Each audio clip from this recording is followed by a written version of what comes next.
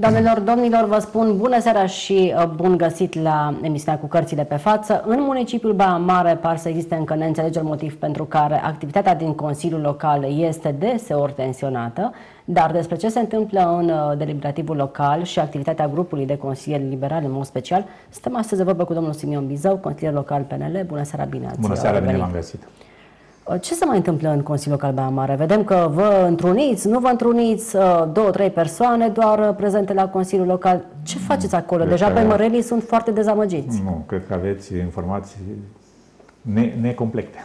Adică, Adică sunt ședințe de îndată, ședințe care, dacă se anunță de pe, în câteva ore înainte, seara la ora 6 și a doua zi să ai, ședin, să ai ședința, multă lume are alte activități, are alte programe. Nu poți să... domnule Bizău, acolo par anumite înțelegeri pentru care nu, se, știu, nu știu uh, ce înțelegeri poate să fie, atâta, nu eu se pot, pot să vă prezintă spun. consilierii. Uh, uh, ședința ordinară, toată lumea e prezent, să știi din timpul 5 zile, să primești toate actele, ai poți să studiezi, dar nu poți uh, să primești la 6 seara, no- la 11 noaptea actele, să le studiezi, a doua zi să faci ședință.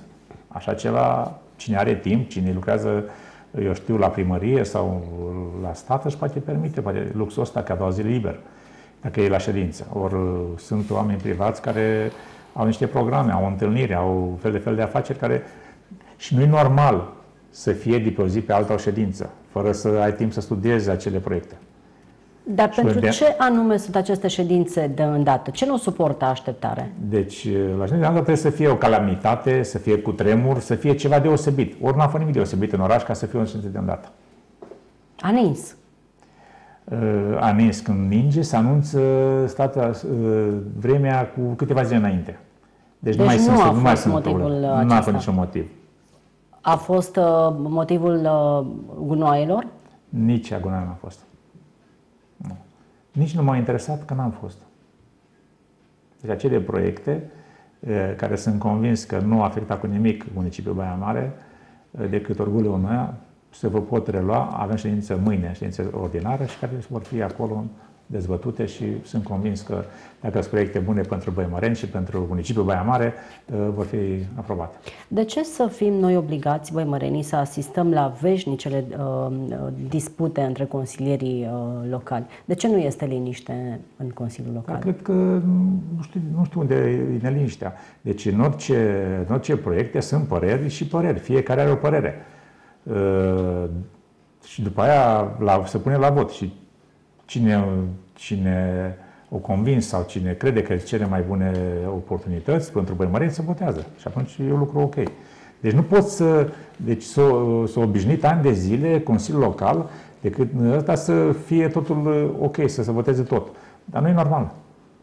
Deci sunt 23 de oameni, care 23 de, de, de păreri, care până la urmă se pune, se pune la vot și se votează părerea cea mai bună.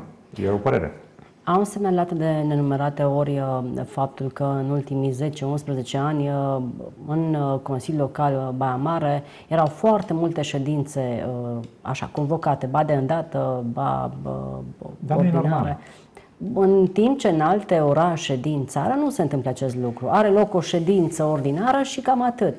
Deci, dacă executivul ar avea proiecte bine definite și să facă, să facă o politică de dezvoltare a orașului, normal că să merge în chestie lineară și o ședință e suficientă.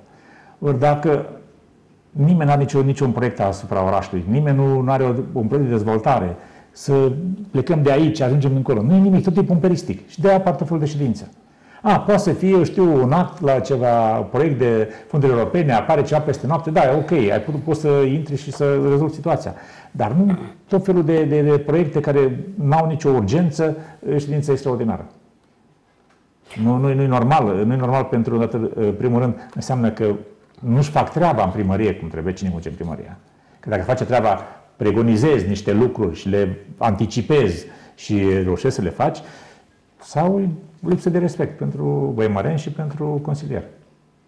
L-am întrebat și pe colegul dumneavoastră din Consiliul Local, domnul Gavra, bă, ieri despre ceea ce se întâmplă în uh, Consiliul Local, că nu depinde de noi cetățenii să fie acolo liniște și să aprobați proiecte spre binele uh, municipiului. Depinde de dumneavoastră și de toți ceilalți uh, uh, cetățeni și de executiv. Uh, Noi am inițiat câteva proiecte și de asta, dar uh, inițiază, principalul inițiator e primarul. El inițiază.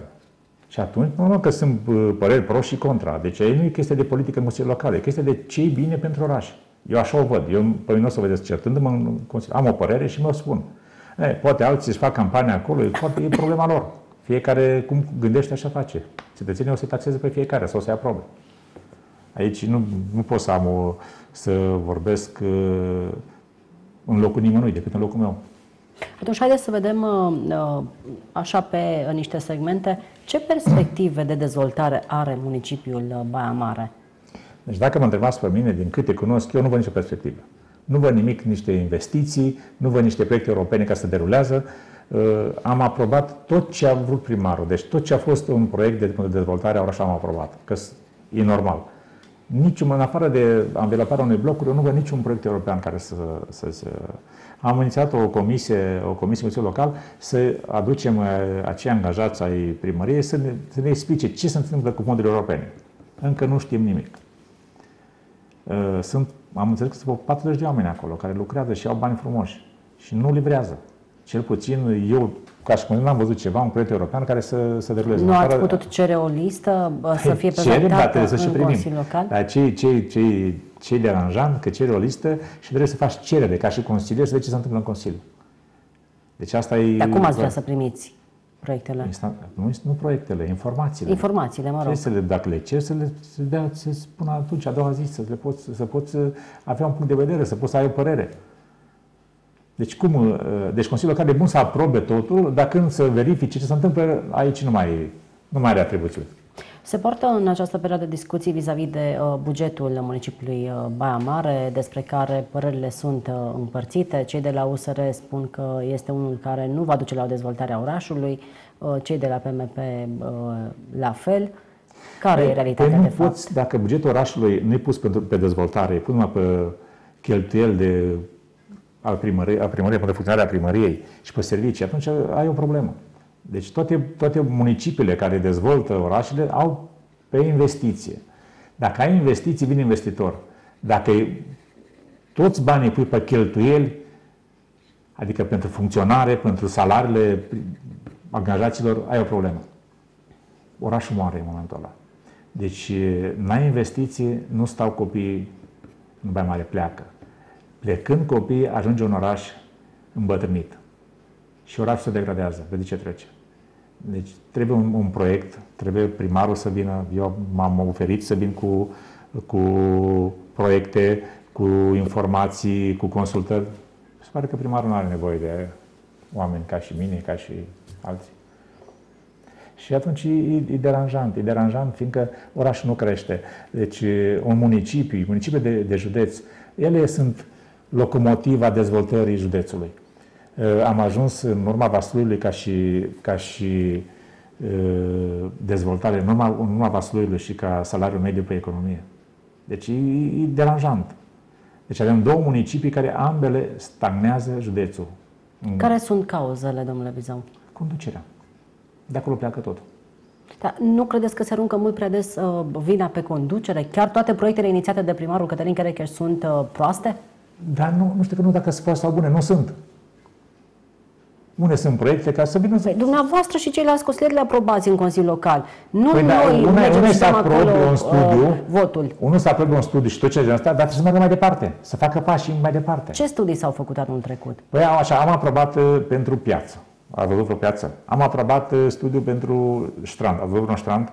Am aprobat pentru dezvoltarea uh, bulevardele. Bulevardul niște bulevard care merge spre Baia Sprie, care merge de la bulevard care merge spre la Meda. Să Ați văzut vreun bulevard? Am uh, aprobat și pentru centură să facă tot, tot ce a venit primarul. Cu centura pentru... se face în colaborare cu Consiliul de Județean Maramureș. Da, da, trebuia să, trebuia să se facă de 10 ani, nu acum. Sunt, uh, sunt orașe mici care au centuri. Noi nu avem centură. Se blochează, se blochează orașul. Deci avem un centru de pe vremea lui Ceaușescu de 30 ceva de ani. Noi am fost în stare să o lățim, să facem o, să facem o pasarelă pe unde, unde, ce puțin la intrare în oraș. Deci suntem într-un film cu dezvoltarea orașului. Consilierul nu poate Consiliul decât să propună, dar și dacă va hotărâre de, de Consiliu și primarul nu, nu vrea să facă și nu se blochează. Deci, cred că nu se înțelege. Consilierii nu sunt în executiv. Consilierul nu poate să dea un ordin. Consiliul decât să aprobe un buget sau un proiect, atât. Să inițieze, atât. Dar dacă l-a inițiat și nu se face, n-are nicio, nu poate să ai nicio măsură împotriva Ce proiecte ați inițiat anul trecut și uh, au avut succes? Uh, în primul rând am făcut transparența. Da, asta am văzut. Care e un prim pas. Uh, după aia am inițiat un proiect, toate facturile, tot ce există în, uh, în comunitatea primăriei, asta să apară, să apară pe site. Nu, nu există așa ceva.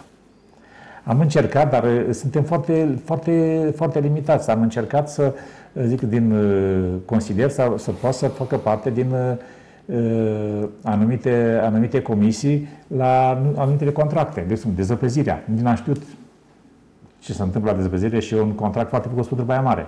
De exemplu, nu am pus la contract, nici măcar Consiliul n-a fost pentru Drusal. Mă n-am, n-am trezit cu toate puse pe masă, să aprobăm.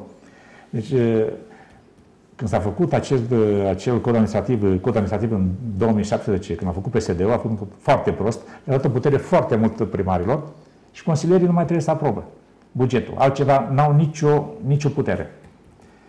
De-aia, toată lumea ne întreabă, domnule, ce faci? Dar ești legat de mâini și de picioare, nu poți face nimic, decât să dai informații și să atragi atenția.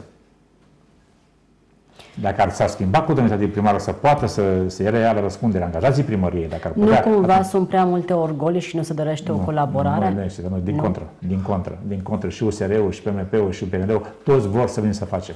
Și ceilalți consilieri? Restul ce, ce primarul șapte consilieri plus doi de mereului. Mai sunt, sunt cei ai PNL care nu întotdeauna votează Bă, acum spunem, uh, sunt așa cum uh, anumite scăpări, e adevărat, dar până la urmă Se spune fiecare, că politic mai mult. Fiecare, fiecare o, o jurat pe Biblie și pe Constituție și fiecare o să-și suporte, dacă a greșit, da, dacă a făcut bine, o să ia... Haideți să luăm capitolul sport. Cu ce ne uimiți în acest an? Păi nu avem ce, ce să vă uimim. Deci părerea mea că se cheltuie foarte mult bani pe sportul sportul de performanță. Nu că n-ar trebui sport de performanță, nu înțelegem greșit. Dar bugetul municipiul meu nu suportă să aibă trei echipe, patru echipe în divizia. nu sunt. Nu sunt bani ăștia. Uh, eu am avut o părere și în, uh, și în discuții cu anumiți factori de, de decizie și am luat-o început de râdere. Important ca echipele de divizia să fie să fie uh, al uh, să fie private, să fie al sponsorilor, să nu fie, pe, să nu fie pe bugetul băii mari. Bugetul poate să ajute, dar nu poate să fie efectiv al banilor. Ce se întâmplă în momentul ăla? În momentul ăla, banii sunt cheltuiți aiurea. Nimeni deci ne-am trezit cu contract de 7.000 de euro la, la, hamba, la ăștia hambaliști, hambaliști, nu știu, nu știu câți, că nu, deci vă dați seama, nu știm ce contracte sunt la, la handbal. Nu știm fiecare cine ce contract are. Și noi suntem, suntem pus să aprobăm uh, salariile dar nu știm cine că salariul. Uh, ce m-a surprins... Uh, Ați cerut o evaluare a acestor uh, sportivi? Activității lor? Deci nu sunt măsură să evaluez sportivii. Să avem nu consilieri, avem consilieri care s-au făcut handbal, care știu, ăia sunt. Eu nu pot să măsură să evaluez un handbal. Eu pot să văd rezultatele. Ce pot să spun, a fost campionatul european masculin, este și acum.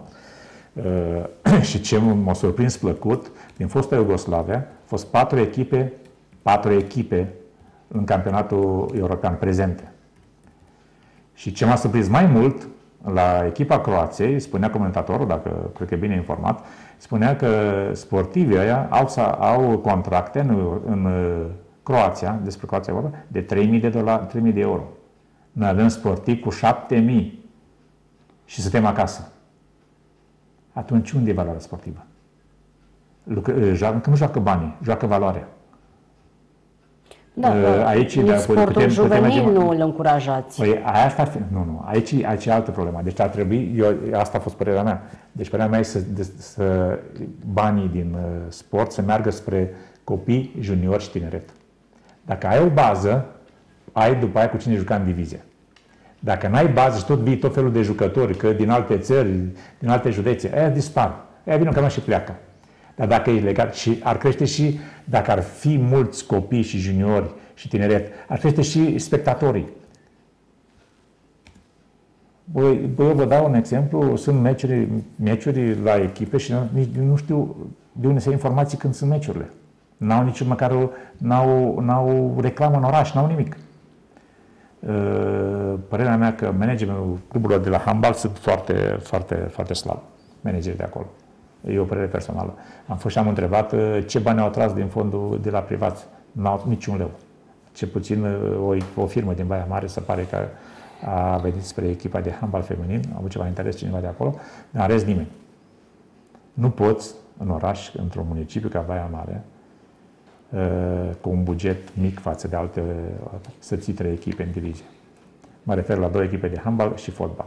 Nu că nu mi-aș dori, mi-aș dori, dar atunci că ce facem cu gunari în oraș, ce facem cu investițiile, ce facem cu, cu școlile, Chiar doream să vă întreb. Da, deci spuneți că sport nu uh, avem decât uh, cel de performanță și acolo cu semnul întrebării. Da. Uh, investiții îmi nu. spuneți că nu sunt. Atunci, educația cum este încurajată? De, cum că din anumite cifre din, pe care le uh, avem vă, oficiale, spun, toți banii merg în școlar este în creștere. Toți banii merg acolo și pe, pe servicii. Atunci ce facem? Deci nu, e, nu, nu, orașul nu are un proiect de, de, de, de dezvoltare pe câțiva ani. Să domnule, ața bani avem, ce facem? Merge o parte acolo, acolo și ne țin de el. Nu, a zice, mai a doua să schimbă, tot așa să schimbă. A de asta sunt ședințele astea de îndată. Să pună bani de acolo, acolo. Nu e normal. Ce alte uh, proiecte uh, veți avea dumneavoastră pentru acest uh, an spre inițiere, domnule Bizau? Pe proiectele trebuie să dezvoltăm, am mai multe proiecte, dar trebuie să le discutăm prima dată în cadrul partidului, după în cadrul coaliției care avem cu USR și PMP și să, să încercăm să le, să le promovăm. La ce v-ați gândit uh, mai concret? Pe ce păi, segmente? În primul rând, aș, aș merge foarte mult pe dezvoltarea orașului, pe, pe, pe proiecte pentru dezvoltare, pentru atragerea, atragerea de oameni de afaceri, pentru lumea vorbește, nu e, nu e plăcut de parcuri industriale, nu avem parcuri industriale, nu avem nimic dezvoltare pentru industrie, nimic nu avem. Absolut nimic. În toate campaniile electorale, domnule uh, Bizău, am auzit numai despre parcuri industriale, că deja cred că și oamenii da, s-au și săturat. Da, și nu a făcut nimeni nimic. Dar nu avem încă un parc uh, industrial. și ce? Nu, nu sunt factori de, de decizie. nu avem un parc nu industrial? Sunt, nu mă întrebam, nu sunt factori de decizie. Deci, întrebat cu președintele Consiliului de Țeni și întrebat primar. Deci eu nu pot, n-am ce să, nu am nicio putere aici, decât să aprob. În primul rând, zice, nu sunt terenuri. Terenuri sunt. Poți să iei teren de la Recea, poți să iei teren de la Dumbrăvița, poți să-l dezvolți. Poți dacă vrei, dar trebuie să te vrea cineva. Trebuie să ai credibilitate, să vină investitorii după aici. E foarte important să fii credibil. Dacă nu ești credibil, nu vin investitorii aici. Dacă azi zici una, a doua zi face alta, nu mai vine.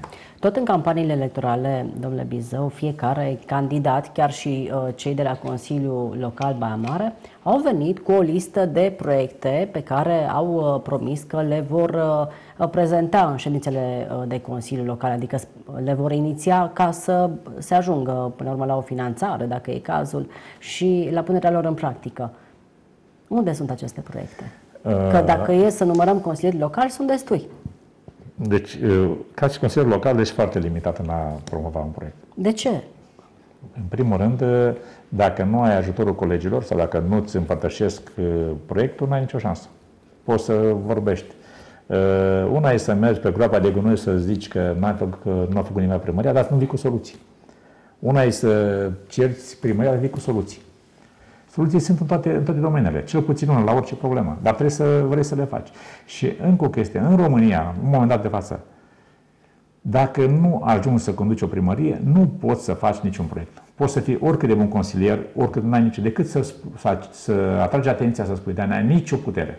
Așa e făcută legea în România. Aici, oricât de bună intenție avea ca și consilier local, dacă nu ai primarul de, care să te aprobe sau primarul n-ai nicio șansă. Și de 80% din cazuri, primarii nu vor oameni care să vină cu idei, că atunci nu mai are el valoare. Asta e foarte simplu. Vedele. Despre planul urbanistic uh, general uh, și nu acele puzuri de care ne-am cam săturat, nu am mai auzit uh, nimic. Păi, încă o dată, repet, primarul a inițiat și se lucrează. Asta e răspunsul. Ce aprobări, cum, unde sunt, nu știu nimic. Cel puțin eu nu știu. Nu știu dacă întrebați dumneavoastră, poate vă ați avea un răspuns. Gata, se lucrează. Dar uh, eu, ca jurnalist, nu mai înțeleg ce se întâmplă acolo în Consiliul Local Baia Mare. Dar Uh, nu, pe de altă co- parte- co- confundați, uh, pe de altă parte, confundați uh, Consiliul Local cu primăria. băi, e o mare măreni, diferență. uh, Deci băi, Consiliul măreni Local spun sunt că- 23 de consilieri care n-au nici Da. măcar un birou, n-au nicio, nimic n-au. Absolut nimic nu acolo. Și o primărie cu sute de angajați, cu juriști, cu tot care... Aici, acolo, acolo sunt problemele. Nu la consilier care merge, fiecare are serviciul lui și merge și niște proiecte. Deci încercați să, să, să faceți diferențele astea. Că uh, și presa nu, nu, nu educă uh, cetățeanul să de fapt, ce face consilierul și ce face executivul. Deci arun- aruncați asupra noastră care nu, nu avem, o vină care nu avem. Nu mi-aș dori să fac mai multe, dar nu pot. Așa, legea te îngrădit că nu poți face nimic. Deci o mare diferență. Deci, factorii de decizie sunt primarii, miniștrii, președinte de partid. Ăștia sunt care decid țara asta. Nu consilierii. Dacă poate, dacă ceva poate să facă ceva acolo cu aprobarea lor, altfel n-ai nicio șansă. Păi și la nivel de partid ce se discută când e vorba de Consiliul Local, domnule Bizău? Că spuneți că nu se a- poate păi face nimic. aici aveți Eu nu pe sunt de acord cu de această pe Ionel secundă. Bogdan să-l discut, întrebați pe el, domnul Călin Bota. Deci discutați cu ei. Eu nu sunt în, în, în conducerea partidului la ora actuală. N-am, nu a fost, n-a fost. Și uh, ceilalți consilieri locali uh, din PNL ce spun? Păi întrebați pe ei ce spun. Deci eu n-am fost ales în conducerea partidului. Fiindcă vorbesc prea mult. Așa mi s-a spus. Bun, eu nu pot să Adică fac nimic. deranjați? Se pare că deranjez, da. Fiindcă am idei, am păreri, îmi susțin părerile. Dar în întâlniri cu cetățenii aveți? Păi în fiecare zi sunt în oraș. Normal că mă întâlnesc.